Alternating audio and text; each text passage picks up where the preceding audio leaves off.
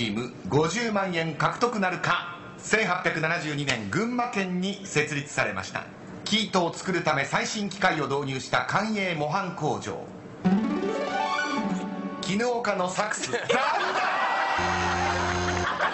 両柳原藤森鍋厚間違えた合っていたのは有吉さんだけです。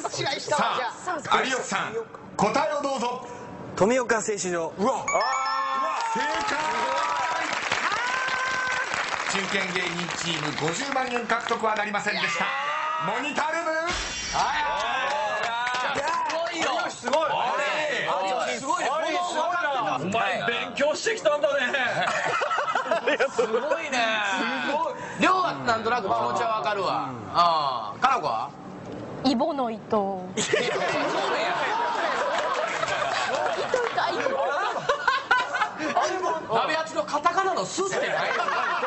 僕も納得いかないです社会で習った5文字でなんかコルフォースってなかったでしたっけ？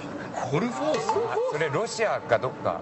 スソ連の農場ですね。あそうですか。お前ソ連の農場知ってるの？それ知っててこれ答えられないんですか？お前世界に行ってもたんやな